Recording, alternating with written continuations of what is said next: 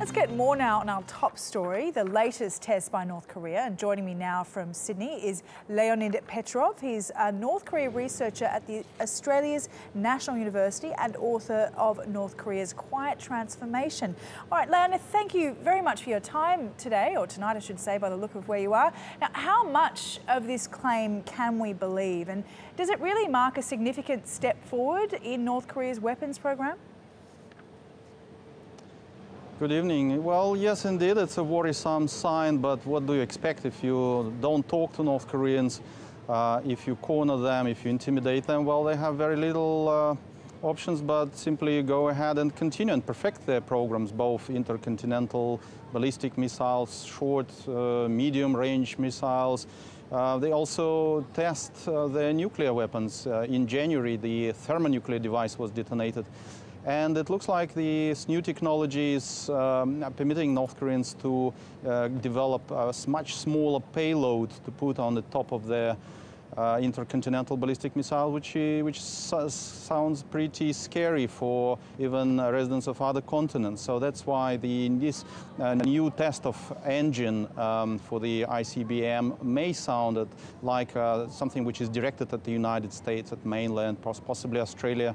But even the neighbors are also very nervous about what may be happening because uh, North Korean uh, missile technologies are not well tested.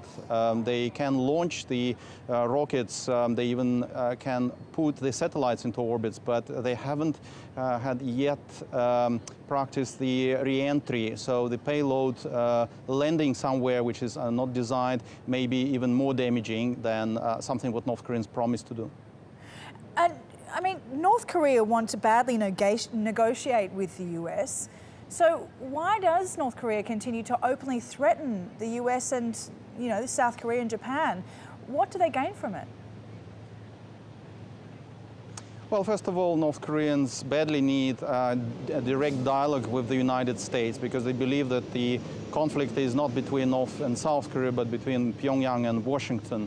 But there's more complexity to that because North Korean regime uh, has been for more than six decades uh, living on the piles of lies. And they know that if they open up their country, um, the domestic uh, situation may be destabilized. And they constantly need to prove to this population that they live in the uh, hostile uh, surrounding. The, the, um, the environment is not fair to the, to the North Korean people. And the leadership is absolutely great. So from day to day, Kim Jong Uh, needs to prove that he is a smart, uh, very powerful leader who uh, knows what he's doing, that's thinking into the strategic strategic and strategic uh, programs such as uh, nuclear and uh, intercontinental ballistic missiles, and that if any attempt to topple the regime take place, then North Korea can defend itself. So it, it, gives assurance to the people of North Korea that they live in more or less stable environment. But also it gives the opportunity for the North Korean regime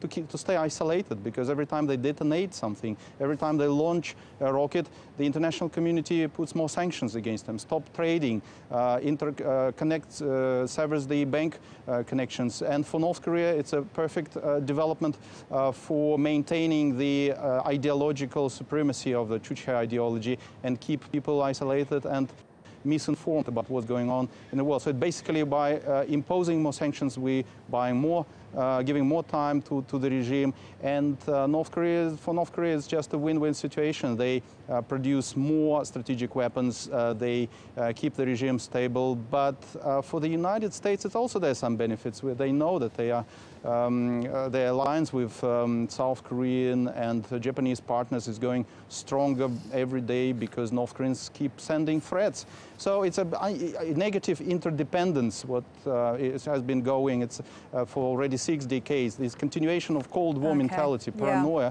which is uh, right. well uh, founded on the uh -huh. commercial interests of North Korean regime and the anti-North Korean mm -hmm. coalition. Yeah.